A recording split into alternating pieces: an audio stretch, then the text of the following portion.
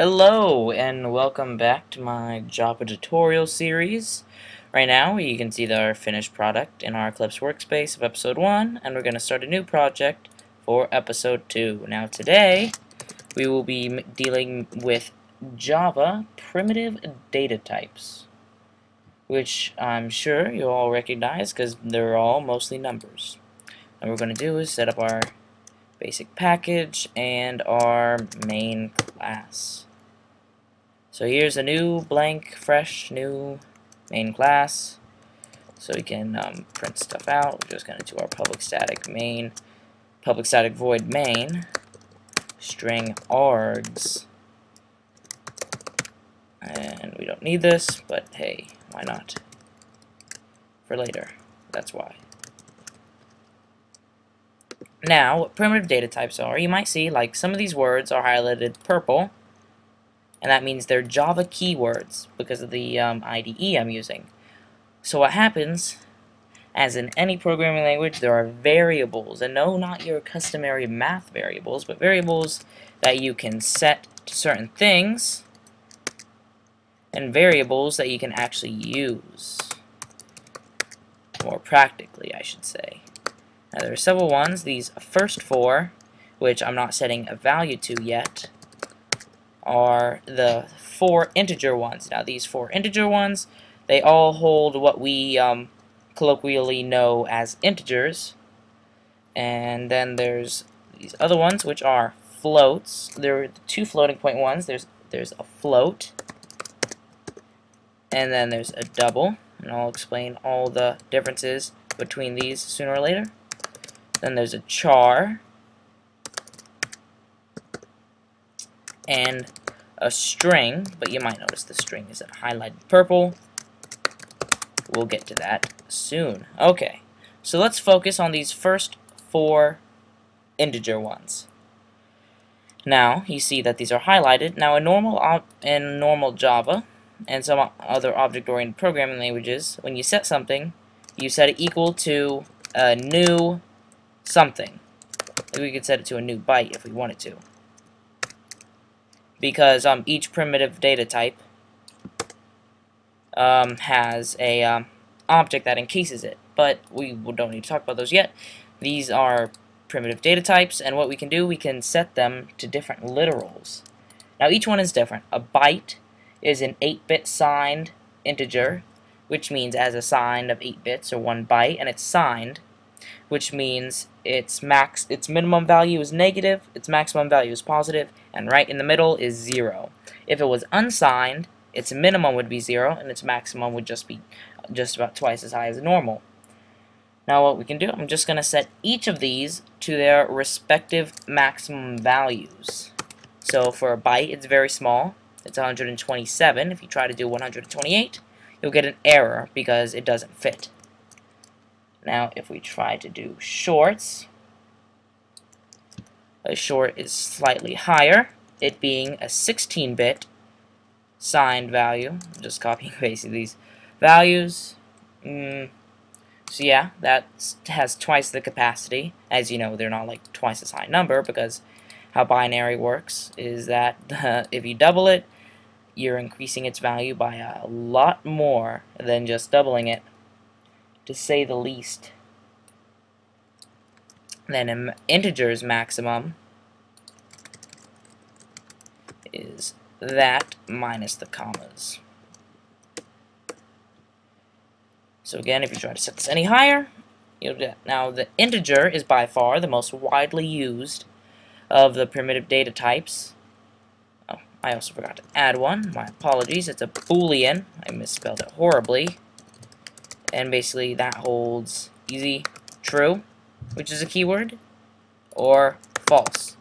In short, they hold one bit, 0 or 1. Those are mainly used for conditionals that we'll get to in a later episode. Now, let's get to long, which is the biggest integer you can hold on a Java system. It's that long. Alright, when I get rid of these commas here, be able to explain to you some cool stuff.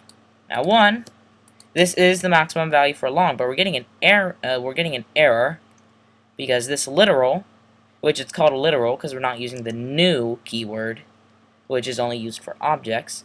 But this literal of type integer, it's an integer because it always defaults to integer, it's out of range. Because right now this is an integer because what you need at the end of this is a capital L to denote that it's a long. Which is weird. Same goes for float. Now floats are 32-bit signed integers, same as same bits as an integer, and double is the same bit size as a long, which means it has similar capacities, but we can just type out like 256 point bleh. and we have, since it's a float we have to type a lowercase f at the end lowercase f and for a double we can write uh, I don't know 32767 dot uh, with a lowercase d now you have a float and a double. This, of course, makes things more accurate and such. Now, the only reason you would tend to use like a byte or a short as opposed to an integer or a long is that they use a lot less memory. Not a lot less, but a, a good amount less. So, like, if you were making a game, and for your game save files, you only needed to save, like, 200, like, 127 or 255 different types of things, then you could use byte as opposed to setting all those using integers, which would quadruple, at, at the very least quadruple, the data that it takes. And that would obviously not only clog hard drives, but would also mug down the runtime environment. The next thing are chars, or characters, and then strings, which are very special. Now characters alone, chars are special in that they can either be set with to characters, which are a single, they use single quotes, strings will use double quotes, so characters use single quotes, so we can do that, we can do a white space, we can do a tab, normally we can do tab, we can only use the code for that. Now what happens, if you don't know this, whenever you press anything into your keyboard, your computer interprets it as a ASCII or Unicode, ASCII or Unicode, uh, encoded uh, integer. Since you can't just like A, you can't really put it directly into Boolean, since Boolean zeros and ones. And what they do with ASCII or um, Unicode is that they encode characters into integers and then zeros and ones and hexadecimal and octal and other stuff. We, we don't have to worry about that yet. So basically in A, can also be represented by a certain string, which is four digits long. I have no idea what um, character that is, but you see it's still valid, so it's still a character. And also, if you put 0x at the top, it just denotes even special, and these four characters can be hexadecimal, which is special, which means it's 1 through, it's uh, 0 through 9, with an extra A through F. So we can set an F here and it would still be perfectly valid because it's hexadecimal. hexadecimal. But if we set a G, G is not hexadecimal. So F, or we can do even like D. Now I honestly have no idea what that is, but if we have it print out car1, char1, my apologies, one second, you see that public static void is static, and in order to use um, in order to use variables in a static method, the variable has to be static. Again, we'll go over this in a future episode, but I'm just going to quickly do that. Now we can run this and see that my mysterious character is a question mark. Now let me see if I change it. It's also a question mark. Oh. Hmm. Peculiar. If we take the 0x out of there and change that. Hmm, I'm dumbfounded. But I know there's a certain way to get that to work. But either way, you can just set that up. Set that up. You can look up your own Unicode codes on the internet. Wikipedia has an extensive article about it with all of them listed, and you can enter them in and use them. So we're just going to set this to why not in capital S. Now, for instance, to figure it out, we can make a static integer uh, char2 equals char1. Now, if we output char2, he's hoping it'll give us an integer, and it did. So that means 83, capital S is 83. So if we set this to 83, and we now make it print out char1, it should give us a capital S. And there you go. It works. Okay. What I might have been doing is that my value might have been too large, and Unicode Unicode doesn't go that large. So maybe, just testing now, if I go do that, oh, wait, and maybe not. Okay. Um, screw it. Doesn't matter anymore. You get you get the idea what um, a char is. Now, strings, the special little cases.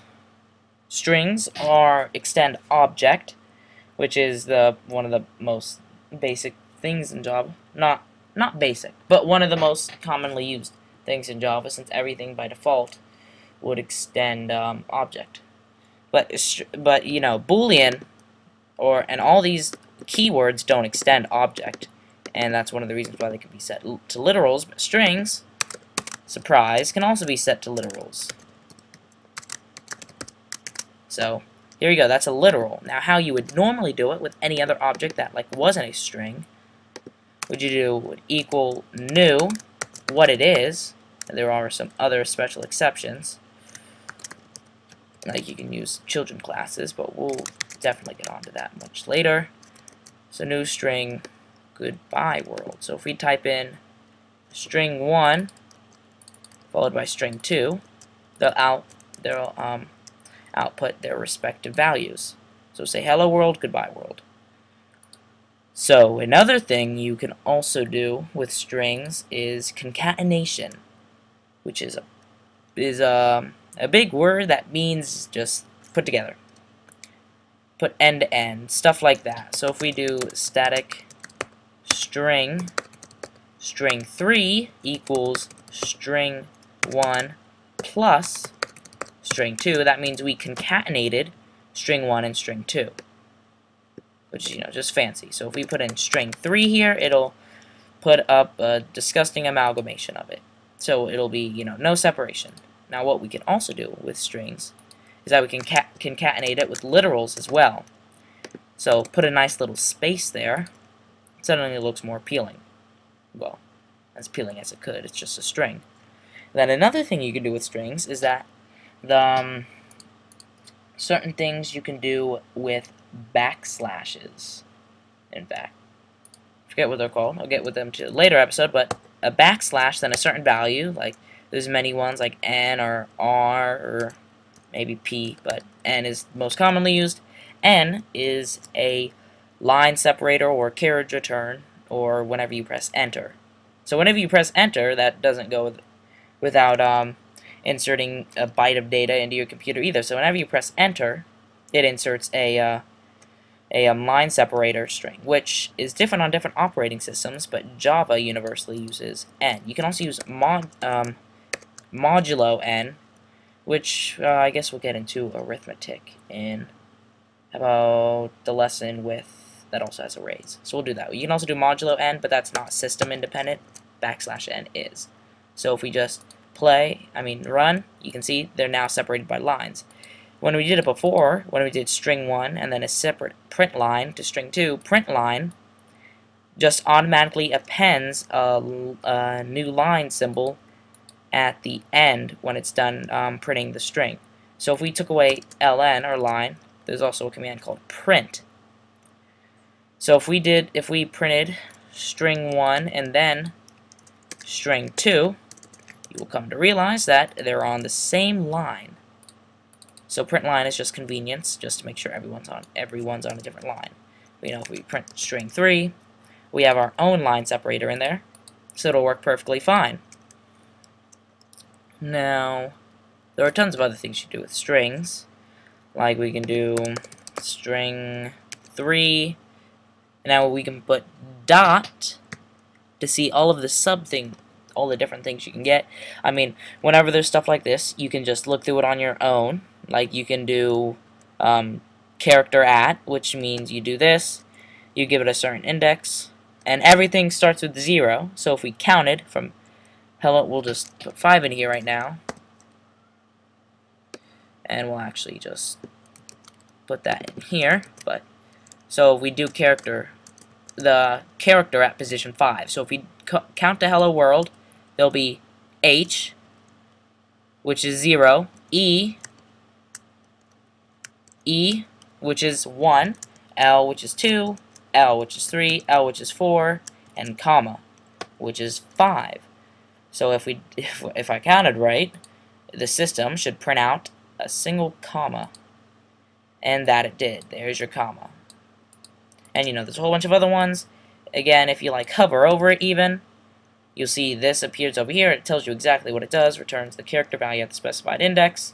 Tells you the parameters, tells you the returns, tells you the throws. And I'll be able to tell you how to do that on your own things, on your own methods and variables and such when we get to the episode that has to do with basic concepts of object-oriented programming languages. But as for um, primitive data values and literals and all that, I think we covered everything that you need to know except for one thing. Of course, just had to remember. New in Java 1.7 happens to be um, when you declare integer literals, whether it be whether it be a long, int, short, or byte, you can enter underscores in between them. Now, this only, the only thing that this does is make it more pleasing to the eye for whoever is looking at the source code. So if we did like system print line, pardon my spelling, and we did that, it's just going to print out 127, not 1 underscore underscore 2 underscore 7. It also works when you're doing basic arithmetic with it. One of the most useful things that you may find to do with this is when you're trying to type out either social security card numbers, phone numbers, or credit card numbers in programming. I don't know why you'd want to do that, but you can do like 1, 2, 3, 4, 1, 2, 3, 4, 1, 2, 3, 4, 4, 3, 2, 1, YOLO. And there, now it's just more pleasing to the eye, I. There are certain places you can't place them, like at the beginning of the literal, or in between the literal and its letter identifier, or on floating points, you can't put it adjacent to the decimal point. And you most certainly can't put it after the determination letter. So, I think that about covers this lesson, and I'll see you next time when we cover arrays and arithmetic.